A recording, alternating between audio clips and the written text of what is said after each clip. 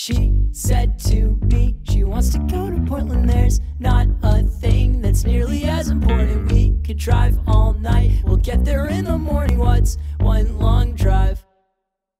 Haven't you seen my bad habits as of late? Leave me